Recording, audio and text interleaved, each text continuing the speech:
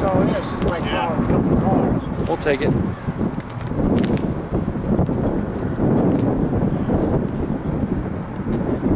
think Q's used to be the hottest trains. Now they made everything just about Q's, so they can hold everybody up. They'll use you. CSX for you.